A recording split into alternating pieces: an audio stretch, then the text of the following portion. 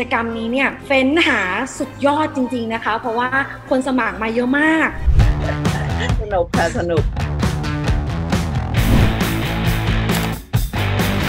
เราเชื่อว่าคนในวัยเกษียณเนี่ยจะเยอะขึ้นเรื่อยๆ แล้วเราก็คิดว่าหัวใจสำคัญเลยในการที่จะทำงานกับคนวัยเกษียณเนี่ยนอกจากเรื่องสุขภาพ นอกจากเรื่องทัศนคตินอกจากเรื่องอะไรก็แล้วแต่สิ่งสำคัญที่เราจะควรทำเลยก็คือทำอย่างไรก็แล้วแต่ให้ คนที่อยู่ในวัยเกษียณหรือใกล้เกษียณเนี่ยมีความภาคภูมิใจในในตัวเองนะครับยังเป็นวัยที่สามารถที่จะเราจะเริ่มต้นทำอะไรได้อีกหลาย ๆ อย่าง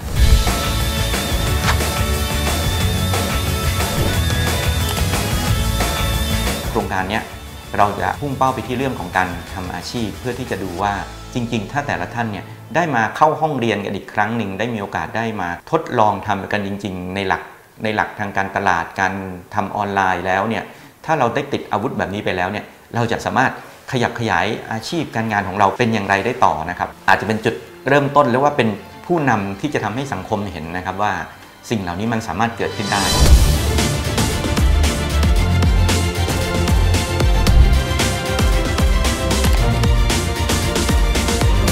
เรามีสินค้าดีอยู่แล้ว เราอาจจะต้องรู้จักการแต่งตัวสินค้าเราให้ดีด้วยหลายสินค้าคือ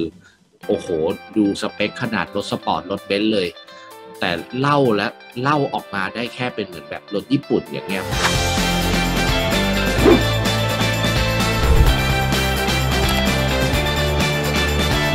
วิชาการตลาดคือการทำให้ตลาดอยากได้ของของเรานั่นเอง